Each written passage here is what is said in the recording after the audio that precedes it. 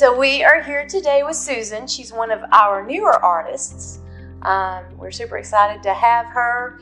And I can tell you, a lot of people are enjoying your work. A lot of people come in and as, you know, and, and I tell this to everyone, but you can, we watch people as they walk in, they'll sort of scan and their eyes a lot of times will fall on one particular art. And many times they'll, your art catches their eye. So we're getting a lot of positive feedback. So hopefully, hopefully that'll grow and lots of good things are coming. Um, so basically, we're just kind of chit chatting today. We'll let you talk about you. So introduce yourself and give a little bit of your background and really what what brought you to this point okay. as an artist. I'm Susan Abell. I grew up in Rockmart, which is close to Rome, about 20 miles from Rome. Lived there all my life until I went to college. Went to a college in LaGrange and um, two years there and then transferred to University of Georgia, where I met my husband and you know, you know that's where the story began there.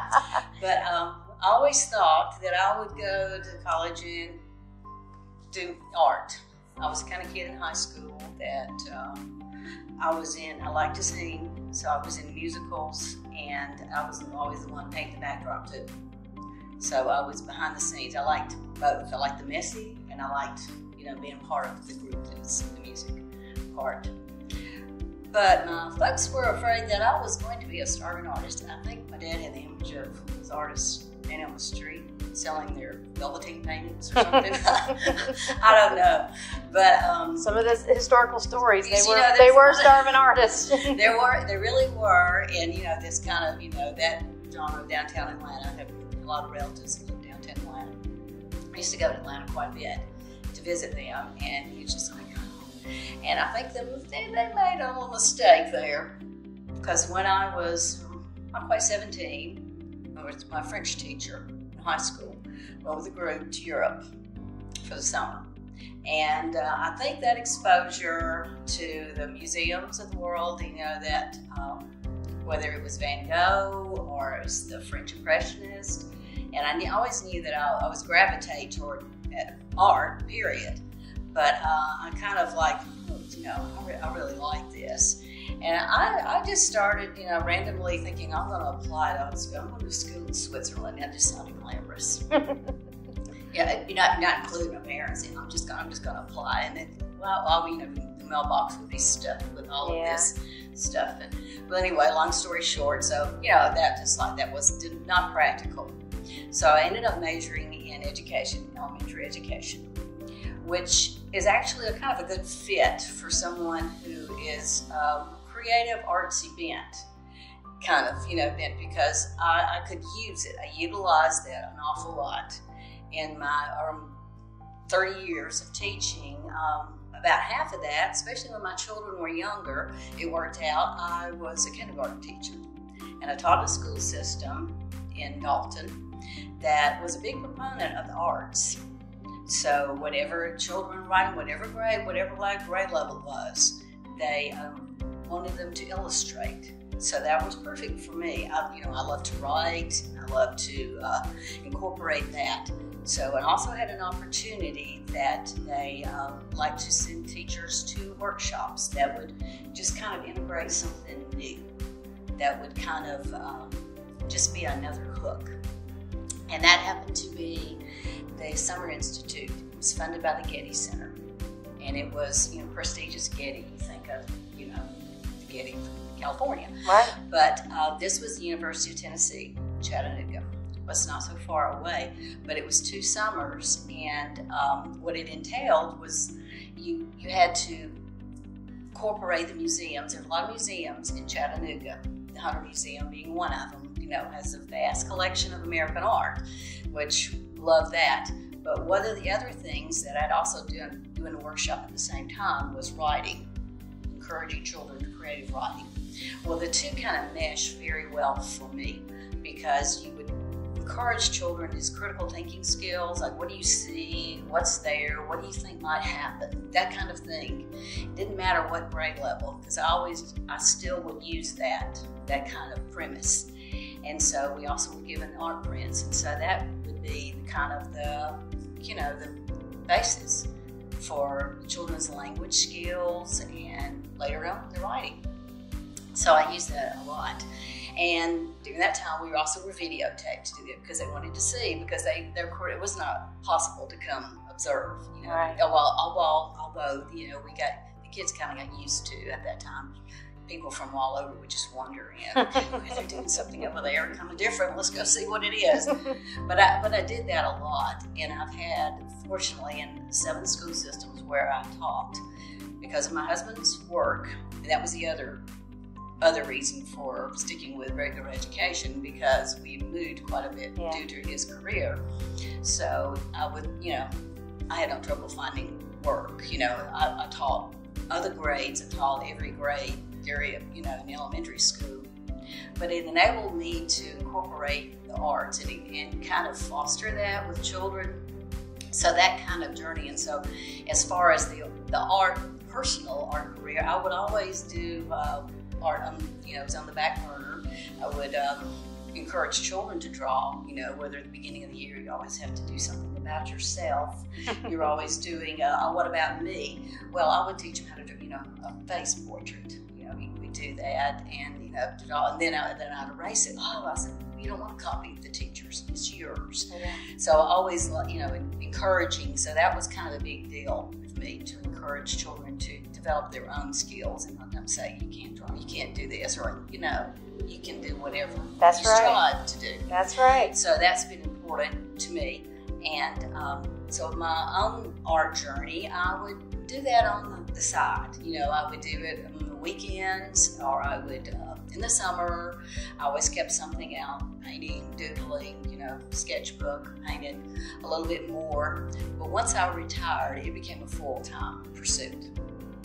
So I, um, you know, I, I just kind of knew I wanted to do that. I wanted to do something creative. One of my daughters had a fashion merchandising background. And I have creative kids, naturally, you know, they can't They got the kids. Definitely. But we had talked about because I, my other penchant was baking. Because I, and I, I talked about, you know, starting baking, and she said, so we went. We took a couple of classes through the Small Business Administration, and Mhm. And you know, unfortunately, in our county, you had to have a complete commercial kitchen in your home. Ah. So I was like, hmm, I don't know if that's going to work. I said, but uh, you know, the painting was always there. I never felt like I was every weekend. I'm grading papers, I'm like, I, I got to go paint a little bit. I got to go do something. So I, you know, that was often the thing. So I just said, well, you know, I'm just going to get my feet wet. And then uh, two of my kids, my son is a software engineer. that, well, you need you need to do this. You need to be on Facebook. You need to do that because I had really just to shoot that. And, their colleagues would say, well, you need to be on there. You need to. Because I knew, I, you know, I didn't need another distraction. But I, I went along and I did that, and they kind of helped me get, you know, get my feet wet. You know, because I, you know, I, they knew that I would not promote myself. I didn't. I didn't.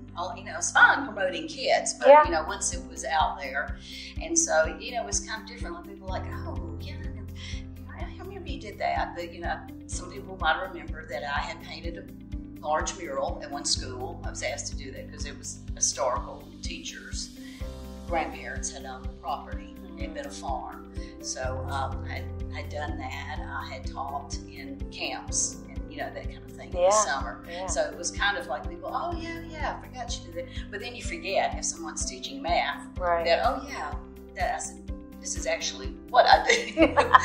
what I do. So- right. So gradually, um, for the first couple of years, you find all different kinds of places to sell.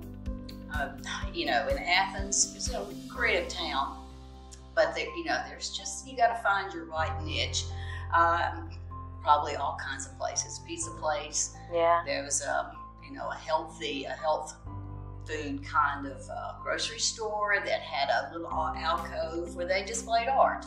And so, I mean, so I availed myself. I did all those kinds of things. And um, besides two local art communities Yeah. in Oconee County and in Athens. So I did that, and one of them involved, you know, you could sit in the, the shop, and they had a nice gallery shop and that kind of.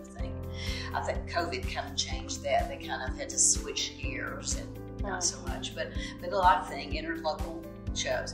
Then I um, entered some did a lot of art shows, art festival things, a lot of them around Atlanta. Mm-hmm. And um, you asked me about, you know, and you know, people responded. You really learn. I liked that thing. It was a lot of work, a lot of work for my husband and my son to set up the tent. Yeah. And, Thank God for the family that will do the heavy lifting. Oh man, I mean, yeah, that that was the challenge. You learn a lot.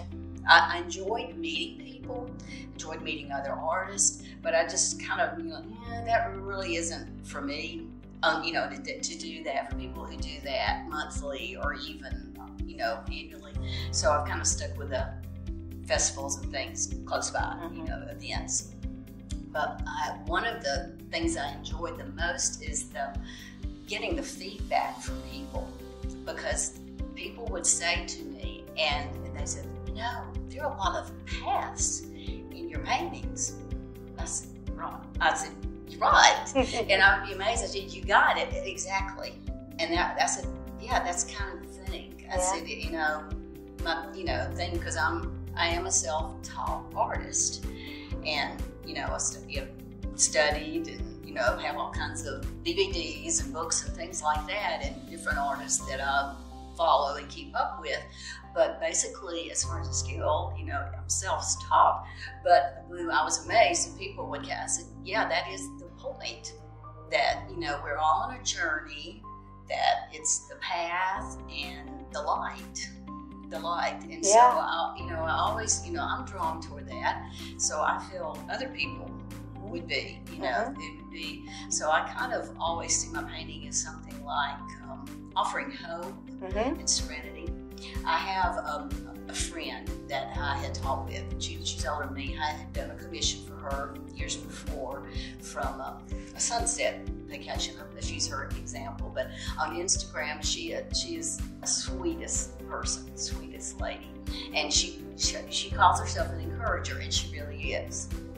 She'll say the kindest things to me. And I said, because she and her husband can no longer go to that vacation spot, but she tells me that painting reminds me of the place, and that means a lot Yeah. to me. You know, Yeah. and so that is one thing I want to capture something that maybe reminds you of a favorite place or somewhere in your childhood, but something, you know, that is a connection. And, and she's always picking up on that, and she'll say something in the comment section like, "Oh, I love this. This is so peaceful. Oh, I just want to go there. Oh, this reminds me of my grandparents' farm, or something like that." And I said, "Oh, you know, thanks for that, because Yeah. because that's that's the whole point." Yes. Absolutely. Absolutely. And it's, it's beautiful that you say that because the theme for us, a lot of the mission for the gallery, is that art speaks to people Yeah. and it speaks hope, it speaks comfort. Um, and I always want to make sure that we're projecting positive. And even as a self taught artist, what I'm hearing you say is there were many years that you planted seeds. So that's a big thing for, for us as well. And so now I know exactly why you fit in so well with our with our art family is because planting seeds, those seeds grow. Right. So you planted seeds in those children's lives, Right. their creativity and your own. And when art speaks to a person and it speaks that happiness to them, you can't get that from I don't know of anything else in our world that you can really get that from. And it's it's it's really kind of a, a personal thing because an art piece will speak differently to different people. But that's what I feel like our purpose as artists is, is to plant those seeds into other people's lives so that they do feel the peace. They do feel that calm. They do, that beauty kind of brings happiness to them. So that seems to be kind of a theme that in all the artists I've met, that seems to be kind of a common, common motivation. And so I, I just think that's beautiful. And as you continue to do that and you paint from the heart, you know, you will affect other people's lives in a positive way, even if it's for, just for that few moments. Right, right. It, you know, it's very meaningful to know that it, you know, touch. You know, it's it's great things sell, but but it means it may sound strange. It's you know, it's equally important that people find the connection. hmm That whatever it is, you know, like you said, whatever's in the painting that appeals to them. It's Mhm. like I always go back through my photographs. I have lots of photographs, and I go back and like, okay, right, this was what I can do this, and my sketchbooks. That's what I, I do in the car.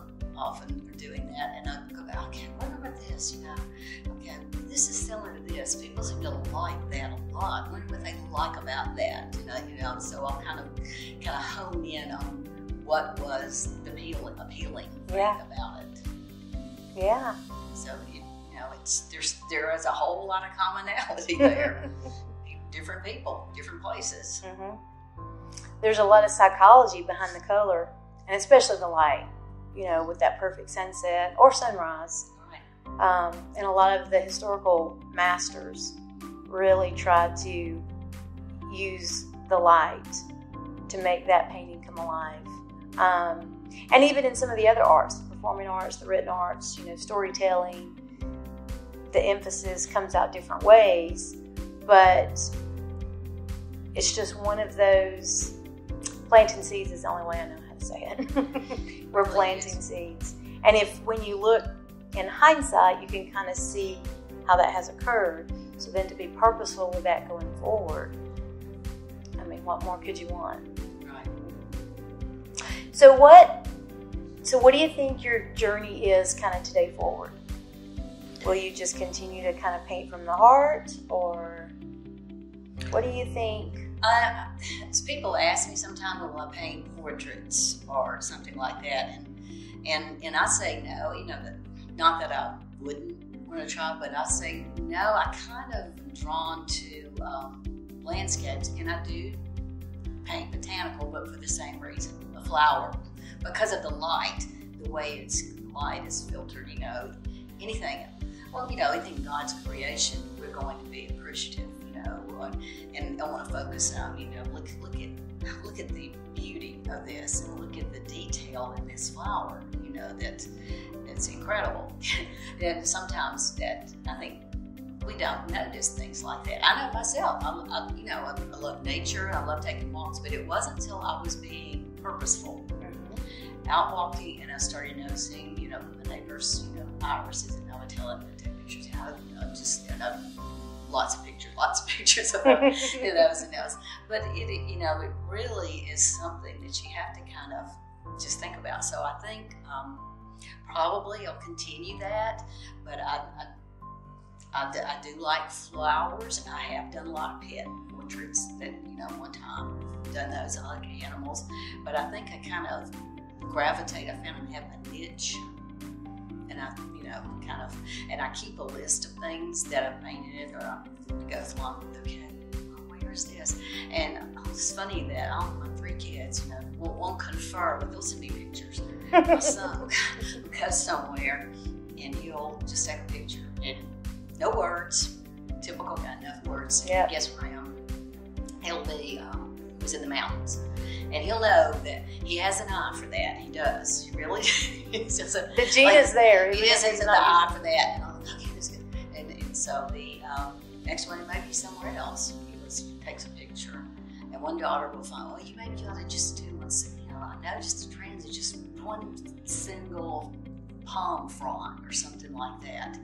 Uh, you know, like that. And that um, they notice that. And the other one will pictures of animals because that's that's what she does. That is a relationship too. right, right. Is so I a picture so we communicate through Yes, yes, absolutely. A picture is truly worth a thousand words. And then when you can paint that and extend the message, Oh yeah. that is a beautiful thing. So you live in Athens, Yes. and the plan is to stay in Athens. Stay in Athens. We talk about when my husband really retires that um, we would like to have somewhere on the coast, maybe part time, also a gallery on Florida's coast. Mhm. So it gives us a reason to go to either coast. But we've talked about, you know, just having somewhere just to a getaway and then rent it out when we're not there or, you know, our family can use it or something Mhm. But, but basically, we see ourselves. Hope so. We've been doing a lot of home improvement projects, so but enjoy them for a That- while. That's a deciding factor. Well, and Athens is a Athens is a wonderful area. I mean, I'm a Georgia Bulldog. Yeah. I'm just gonna throw that out there. We're definitely a home divided in my at my house. Are you? but, you know, the husband's Georgia Tech, I'm UGA, but what does he know, right? So Athens is a beautiful area, and there is a lot of art there. Um, I think more diverse art. If More diverse, a lot of abstract, which I have an appreciation for, but a lot of you know different kinds of that be more appeal. Now, whenever I sold things, it was through the art center, which I revamped. So, you know, this I was, you know, I sold art through the gallery. It was part of a guild. Mhm. And when they kind of downsized that, changed that, and then I had to have surgery, I said, okay, well, it's time to do something else. So I just focus on the, the one, the community one in Oconee County, uh, closer where I live in Watkinsville. Yeah, very familiar with that area. So, so that's a good plan. And kind of circling back to some of the paintings that have sold, one of the things that we as a gallery can do is help with provenance information, which appraisers use to to kind of determine value of a painting. And so, what I have learned as an appraiser is that historical documentation matters. Um, and I'm sure they've kept good documents as well but anything that authenticates your work to you, right? So there could be a million landscape artists, Right. but there's always going to be something about your style that's very unique. And that's just true for every artist. And I don't even know that I can explain it, you know, but I, I personally believe it's when an artist paints from their heart and paints with purpose, like you're talking about, and it's going to kind of come out. It's almost like your your art signature, so to speak.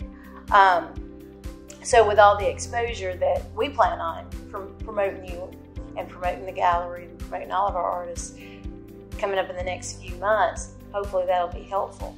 The other thing too, though, is um, your story. Your story matters, so that helps to authenticate too. So you have such a wonderful heart for art. That's actually hard to say. Heart for art. Um, but going forward, I hope that we can kind of help you to kind of reach your dream too. And so I, you know, I ask a lot of artists, what is the one thing on your bucket list that you want to accomplish? If I could wave a magic wand, what's that one The thing? one thing, The one thing for you or for your art or for okay, both? the one thing we, um, my husband and I've always talked about doing is to go to um, south of France, go to Giverny Mhm. and to paint in Monet's garden. Oh yes. that would probably be it and just you know, spend some time in the countryside of France and Italy. But um, that would be just kind of sum it all up. there's there's an artist I follow who teaches a lot of workshops and you know and I, and I went up to it and and she's very easy. She spends a lot of time in nature with her dogs or a horse and but it's done. I was like one day I'm going to do that. Yes, absolutely. Absolutely. And that's very doable. That's a very realistic goal. Yes, it is. Do you do a lot of plein air painting with your landscapes? I, I don't so much, but um, I need to get another kind of easel that can do that. I have three, but one I just keep on the back deck, you know, just kind of like a telescoping, it's like a tripod kind of thing. And then I have two of the nicer conventional ones in my little studio space, converted from a bedroom. but um, I will use, I, take a lot of photographs, and what I do when I'm in a location, so like Jekyll Island, is I'll do a lot of sketches and keep a lot of watercolor pencils. And I have tablets, and I have watercolor paper, and and I'll and I'll do that sometimes. But I'd like to do a little plein air, but mostly I've done it just in my home, my yard, you know, my deck, something like that. But and I work from my photographs.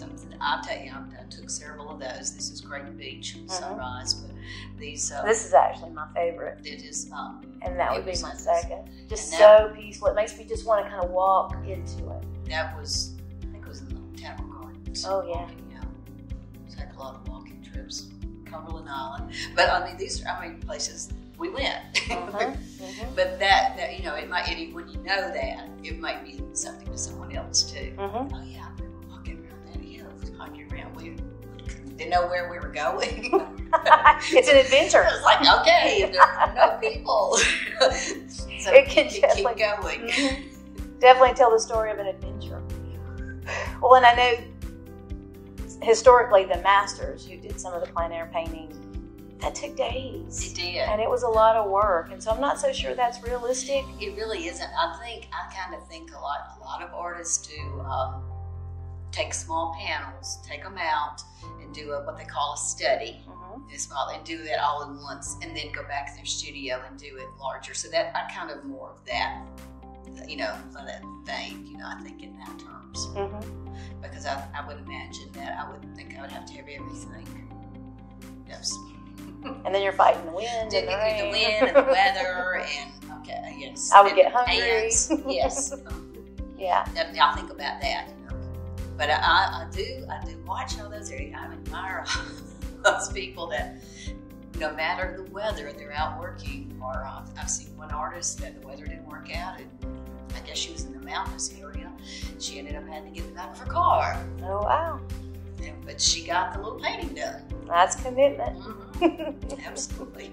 Well, and I think when an artist perfects their process, so as you're saying, even working from a photo, if you're there, you have the visual Right. versus just pulling a photo up off the internet. You're going to miss out on some of those details. But Right. if you're in person seeing it and you have the photo or the study, Right. and then all of that translates onto the final canvas, Right. I mean, that process is, I mean, what more could you want, right? Right. That's it. well, I'm excited to hear you mention Monet because he's actually one of my favorites too. Yeah. That's my favorite. So maybe we'll maybe we'll plan a gallery trip to, Maybe so. Yeah. France. That, would, be that would be a good one. I could, yeah, take go back and reread all those coffee table books I have. well, we definitely are thankful. Thankful that you're here. Thankful that you let us represent your art. Um, a lot of good things coming. You know, we're letting our little secrets out a little at a time, but we really have a lot of plans for um, good things coming to the gallery. So I'm thankful that you're a part of that. well, I'm just excited to be here, and I, I just feel like there's a connection, Mhm. and and I love the journey you're on too. Oh, thank you. I truly believe we can grow together. So, so thank you for coming today. Is there anything else that you'd want kind of the world to know? And I'll tell you, ten years from now, I still, I still plan. I'll just speak it in faith that people still going to be watching this video ten years from now. So, what, what would you want kind of the world to know over the next ten years as people watch this video? What, what's the one thing that you'd Well, want I them to know? remember one artist that um, that I, I loved what precious artist who painted outside in South Carolina and Georgia coast, and she died suddenly. And and I would say that the big thing is find your whatever it is you love, you enjoy, whatever gift God has given you, put your heart and soul into it, and you know. She always said it's never too late. I love that because that is so true. Never too late. Her name is Mary Gilberson. She.